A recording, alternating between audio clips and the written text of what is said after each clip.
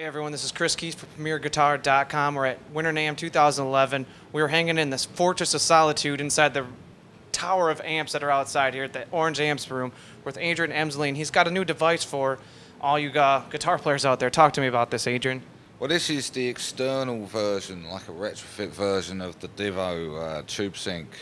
Uh, the Orange and Tube Sync have been developing over, you know, helping develop uh, over the last three years and, and, and this basically has a wiring harness that goes in between your tubes and your amp.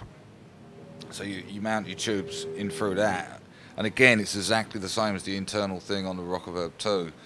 You know, it, it, you set once this is set up, it will, with the amp will bias itself.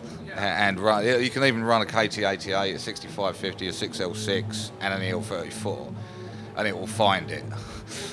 you know, it will adjust to it.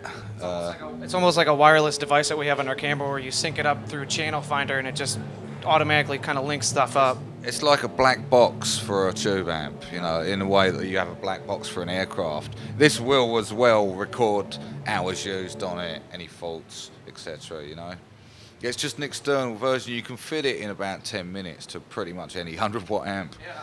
you know, or 50 watt amp.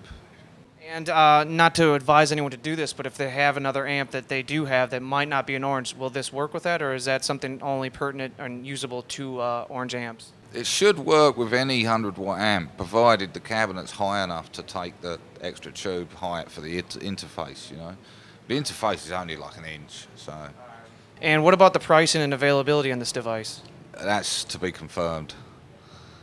And where should they go online to find out this information when it is confirmed and available for the internet? BeOrangeAmps.com. Excellent. Well, thank you very much, Adrian. Cool. Have a great show. Okay. Thank you. This is Chris Kies for PremierGuitar.com, hanging at Winter NAMM 2011.